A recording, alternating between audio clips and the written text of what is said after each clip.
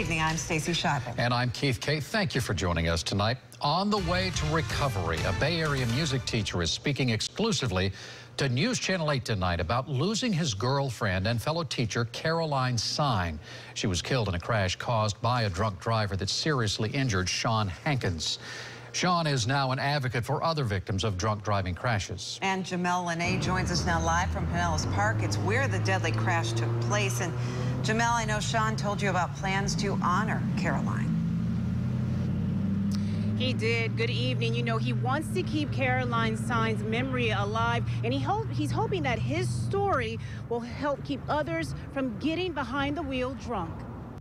It's, it's a process. I'm just doing the best I can, trying to take it one day at a time, and still have still have a ways to go. Nearly two months after a crash that killed music teacher and girlfriend Caroline Sine, Sean Hankins is smiling. Hankins, who was also badly injured, is thanking the community after spending weeks in the hospital.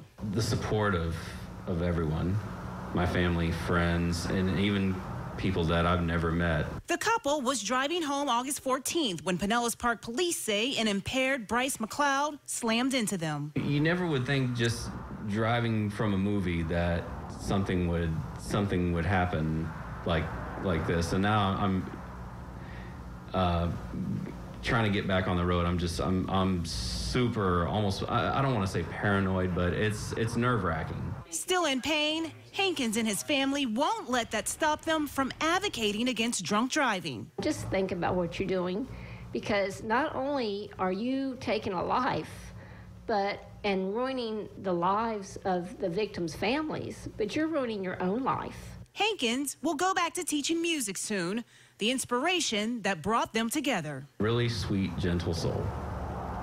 It's the best way I could describe her. And uh, so going back to work, I just hope I can be near as good of a teacher as she, she was.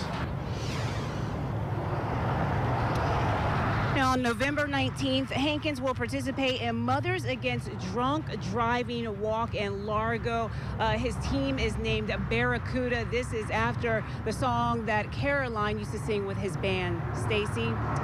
Jamel, what's the latest with Bryce McLeod? He is the man accused of crashing into that couple.